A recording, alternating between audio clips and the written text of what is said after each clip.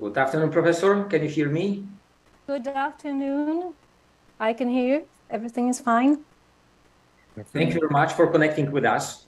Uh, I'm you. really glad for you. Uh, I'm really glad to, be, uh, about being here today with you. Thank you very much. Uh, I'm Radosław Koszewski.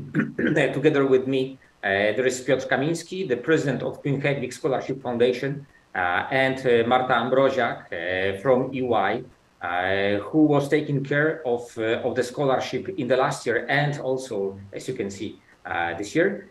Mm-hmm. you nice will have you. five minutes to present yourself. Nice to meet you. each of us will have up to three minutes for Q&A.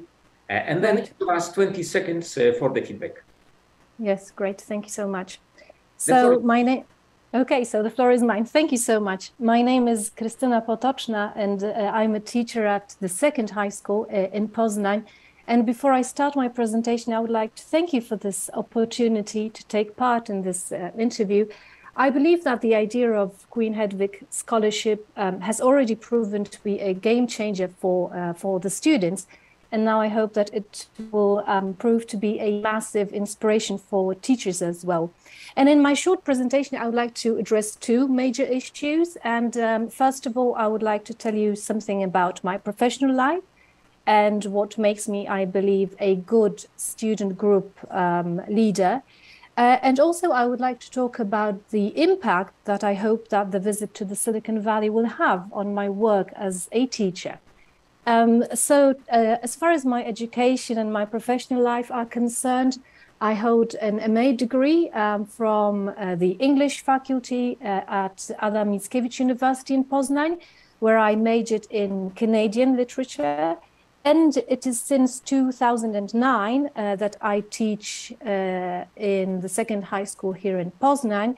And uh, I teach English as a foreign language in the standard Polish program uh, but uh, for the past two years, I have also been teaching um, theory of knowledge, which is a new subject to me, but uh, it has proven to be massively um, interesting to me. And in short, this is a course in epistemology. So the basic question that uh, we tackle is uh, how do we know what we know? And um, I believe that this is in fact quite a pertinent question when it comes to the Silicon Valley um, as well. Now, if I was to say what I believe makes me a good uh, student group leader, is that I do have the relevant experience. Namely, I have been abroad with my students. Uh, for example, as a class teacher, I went to London with uh, with my students students for a five day tour of London. Uh, also, annually, we hold this international school exchange, uh, with a school from the Netherlands. So it means that we host the students here in Poznan and then we pay them a visit in Amersfoort in the Netherlands.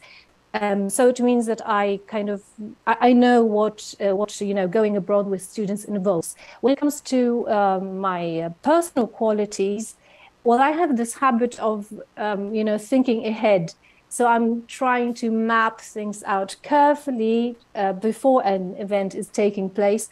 And I also try to um, bear in mind what might go wrong. so I'm trying, you know, to, to think of plan B um, as well. Um, when it comes to um, the way that I would like to use this um, stay in the Silicon Valley in my work as a teacher is that primarily I would like to use it in my theory of knowledge classes one of the big, big themes that we discuss is knowledge and technology.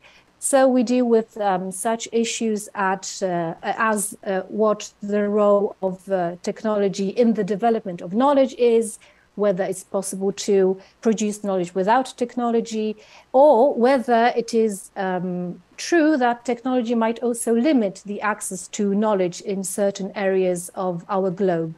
So um, I would like to um, use this chance of uh, being in the Silicon Valley to um, gain more insight into the into these issues and also provide my students with more up-to-date um, um, coverage of, of the of the topics that are connected to knowledge and um, and technology. And uh, just to sum up, um, I'm of the opinion that a good um, student group leader is and more broadly speaking, also is a facilitator. And a facilitator is a person that makes matters easier. And um, and it is this role of a facilitator that helps students to reach their full potential. And um, I would like to be a member of Queen Hedvig's scholarship team just to make sure that, uh, that the students actually do reach their full potential and that they will use this time um, in the Silicon Valley to, um, to grow, to develop, and uh, to build a, uh, a good um, network of meaningful um, contacts that they will use for the future and that uh, I will help uh, I will help to make this an unforgettable and um, a formative experience indeed for them. Thank you so much. Thank you very much. Uh, now is the time for questions. Piotr. Thank you, Professor. Uh, um, uh, really amazing presentation. Thank if you so much. Be so kind to, to, to, to, to, to share with us some ideas. How would you like to to to um, present knowledge to, to the community of your school, of your um, students and, and colleagues from from the, from the school and the other professors? Thank you so much for your question. Now, um, starting from September, I'll be a class teacher. So it means that I'll be in charge of, of this uh, class, and this will be a pre-IB class. So it means that I will have a direct chance to to talk to uh, to students and to encourage them um, to take part in uh, in this uh, program, and um, so. Um, and obviously, I will, you know, use uh, this up-to-date knowledge in my theory of knowledge classes. So this is the kind of student interaction part of uh, of uh, the impact that the scholarship might have on me.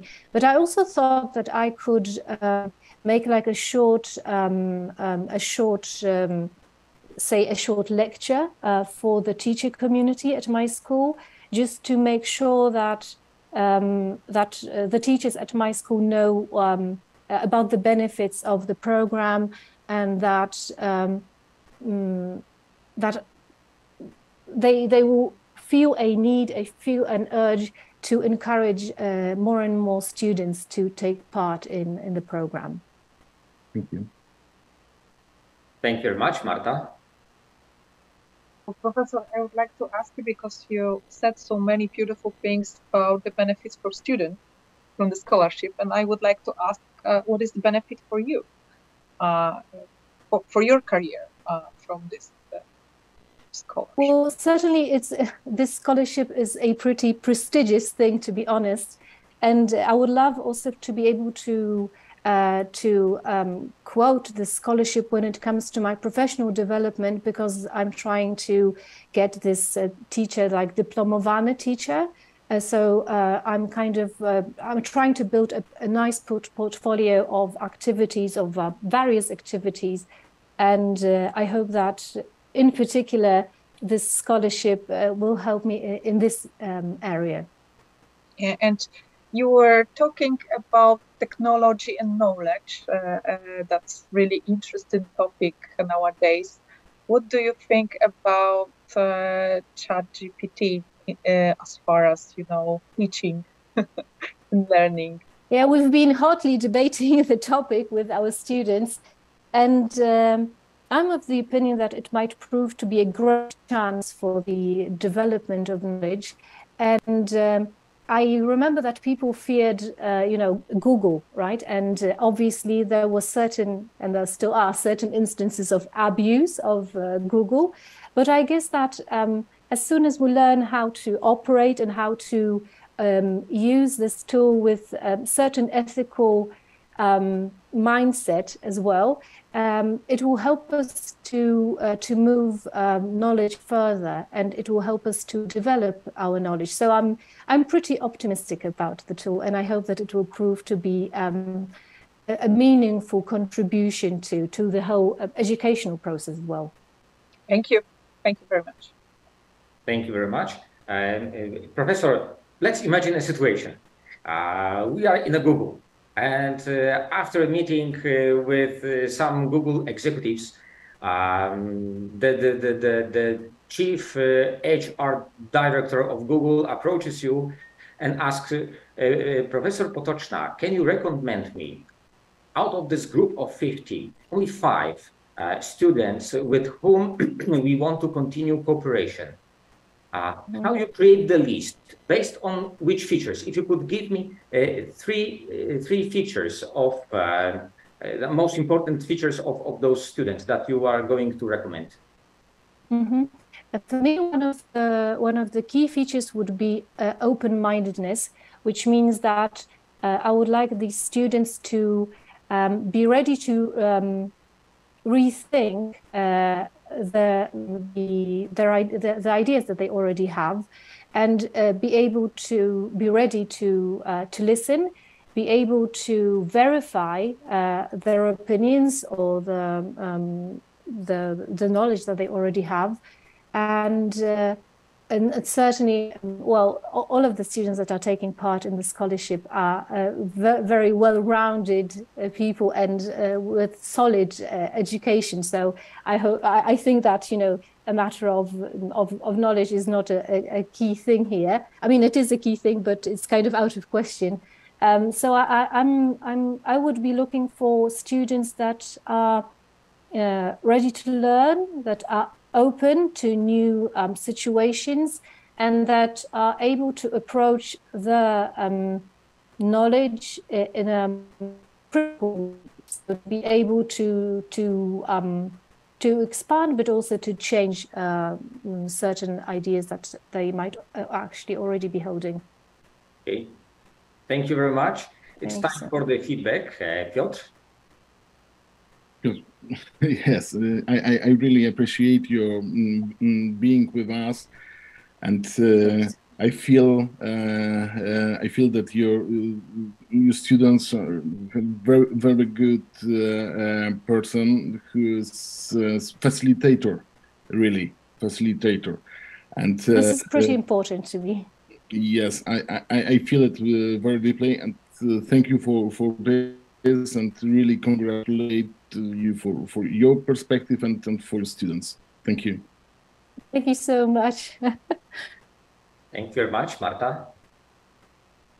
Uh, Professor, I'm impressed how uh, how you presented yourself, and my feedback would be great in terms of the kind of person that you uh, seems to have the, the safe space, right?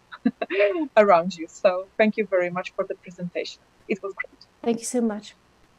I also thank you for um, uh, your excellent presentation and for everything uh, you do for, uh, for students, uh, because thanks to you, they may achieve great things. Thank you very much. Uh, I thank have so a, a, feedback uh, for our committee.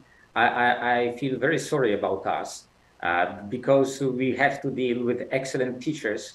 Uh, and uh, out of such a group of excellent teachers, we need to select only two. And so I'm, I'm really sorry for us. I don't think that's possible. and, you should convince, you know, you should convince the investor to provide more opportunities for teachers as well.